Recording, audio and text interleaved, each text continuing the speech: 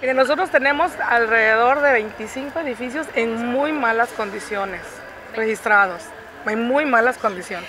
Dice, hasta ahorita yo siempre lo he dicho, en los, edificios del centro histórico su estructura ha estado bien hasta las últimas este, revisiones. Lo que se cae son los entrepisos y la cubierta y caen para adentro. O sea, es difícil todavía que tengamos un derrumbe hacia la calle. Eso todavía no se ha dado ni tiene la, todavía este, la situación.